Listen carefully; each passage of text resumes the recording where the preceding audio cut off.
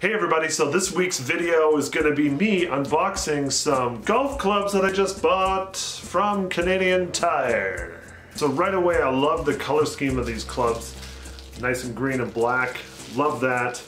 And um, it's just, I tried them out in the store and they just seem like they're kind of clubs that are going to be light and still really user friendly and Hopefully I won't have to do too many searchings of balls out there on the course. My irons go from iron 6 to 9 and I have a pitching wedge and a sand wedge and also a putter of course.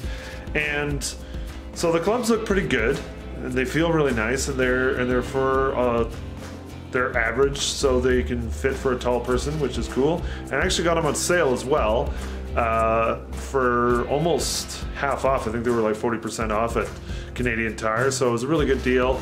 They're normally over $500, so they're kind of entry level.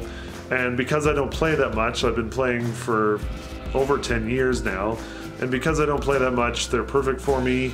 Um, I can't wait to try them out uh, on one of the courses around Calgary and also because I haven't golfed in Calgary yet. So I'm looking forward to that. Uh, I've golfed, golfed in Chestermere, which is outside of Calgary, but I still haven't golfed in Calgary yet. So I'm looking forward to that. All right, now that the clubs have been, uh, well, at least one of them has been christened. I mean, only in the backyard, but still, they feel pretty good. So I'm looking forward to going out on the course and trying them out and then uh, I'll do a video and uh, let you guys all know how it all went. But until then, I hope everyone has a great day. And if you're out golfing, well, I hope it's a great day for you and you shot really well. Uh, other than that, we'll see you next time.